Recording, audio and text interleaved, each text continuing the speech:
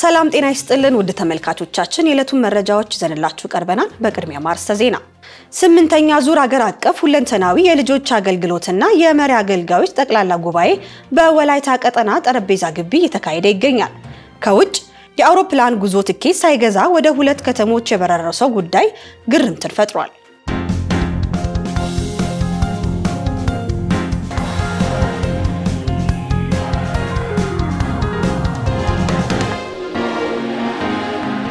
ውድ ተመልካቾቻችን ከእናንተ ጋር አብሬ የምቆየው እኔ ጽጌረዳ አለሙ እንዲሁም ከመላው የስቱዲዮ ባለሙያዎች ጋር አብረን በመሆን ነው። የደቀ መዝሙር አድራጊነት ስልጠና ሲከታተሉ የቆዩ የቤተ ክርስቲያን መሪዎች የምረቃ ስነስርዓት ተካሄደ።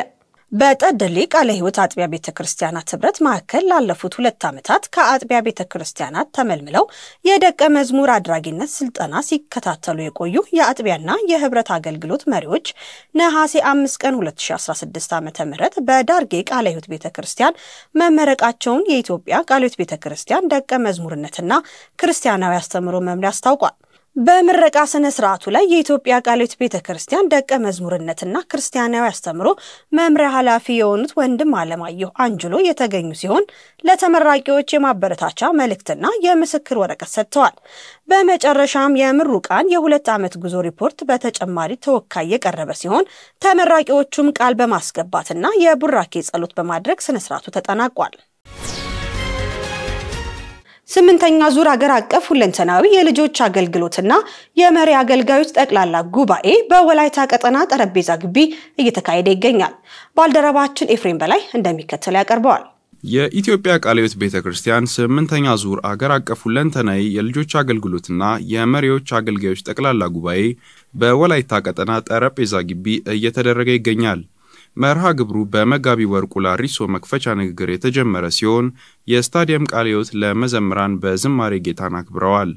መጋቢ ማርቆስ በሚቀጥሉት ቀናት የሚኖሩ መርሃ ግብሮችን ያስተዋወቁ ሲሆን በወላይታ ቀጠና ስቴዲየም ቃለ ሕይወት ቤተ ክርስቲያን ለልጆችና ለሕፃናት ስልጠና እንደሚሰጥ በመግለጽ ልጆች የክረምት ጊዜያቸውን እንዴት እንዲያሳልፉና የወጣትነት ዘመናቸውን እንዴት እንደሚጠቀሙበት የሚረዳ ነውም ብለዋል። የኢትዮጵያ ጤና ጥበቃ ሚኒስቴር በሀገሪቱ እስካሁን ድረስ የዝንጀሮ ፈንጣጣ በሽታ አለመከሰቱን ተናገረ። ባልደረባችን ለምለም ተክሉ እንደሚከተለው ታቀርበዋለች። የኢትዮጵያ ጤና ሚኒስቴር በሀገሪቱ እስካሁን በዝንጀሮ ፈንጣጣ በሽታ የተያዘ ሰው የለም አለ። የአፍሪካ ሲዲሲ በ13 ሀገራት የተከሰተው በሽታ አሳሳቢ የህብረተሰብ ጤና ስጋት መሆኑን ገልጿል። በኢትዮጵያ እስካሁን በበሽታው የተያዘ ሰው አለመገኘቱን ይፋ ያደረገው ሚኒስቴሩ በሽታው በቀጥታ ከሰው ወደ ሰው በንክኪ የሚተላለፍ እንደመሆኑ በመግቢያና መውጫ ኬላ አካባቢዎች ላይ የቁጥጥርና መከላከያ ስራዎች ተጠናክረው ይቀጥላሉ ነው ያለው።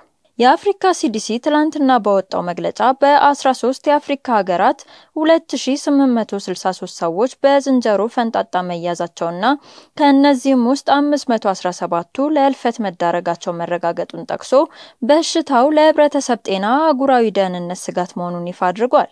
በዝንጀሮ ፈንጣጣ የተያዙ ህሙማን የሚያሳዩቸው ዋና ዋና ምልክቶች እንደ ትኩሳት፣ ራስ ምታት፣ የእጢ እብጠት፣ የጡንቻና የጀርባ ህመም፣ ሽፍታ፣ የቆዳ ቁስለት እንዲሁም የአቅም ማጣት ናቸው። እነዚህ ምልክቶች መከሰታቸውን ያረጋገጠና በቅርቡ በሽታው ወደ ተከሰተባቸው ሀገሮች የጉዞ ታሪክ ያለው ማንኛውም ሰው በአቅራቢያው ወደሚገኝ የጤና ተቋም በመሄድ አስፈላጊውን ምርመራና እንክብካቤ ማግኘት እንዳለበት የጤና ሚኒስቴር አሳስበዋል።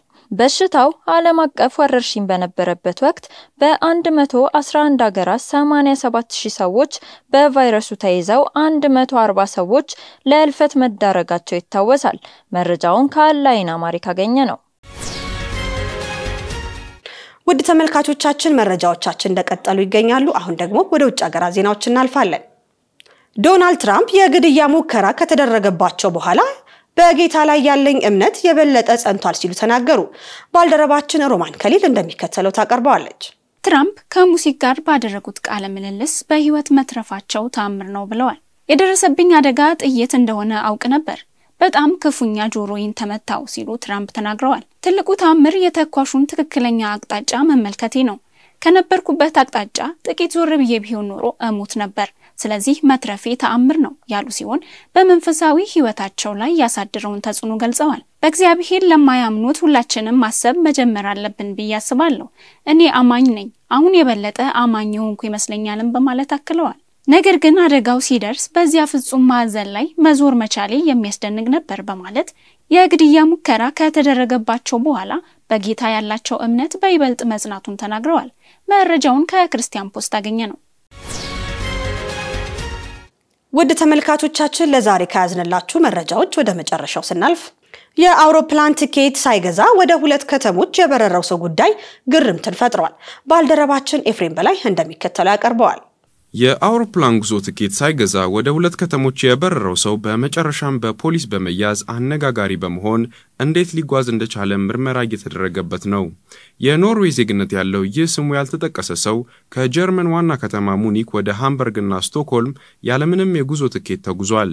ግለሰቡ የአውሮፕላን ትኬት ሳይገዛ የጸጥታ ኃይሎች ሳይዙት ወደ ሁለት ከተሞች መጓዙም ግርምትን ጭሯል። ግለሰቡ የተጓዘባቸው አውሮፕላን ጣቢያዎች ሰዎች ያለ ትኬት ጉዞ እንዳይጓዙ የሚከለክል ሰው አልባ ቴክኖሎጂዎችን በስራ ላይ የነበሩ ሲሆን ይህ ሰው እነዚህን ሁሉ አልፎ ለመጓዝ በቅቷል።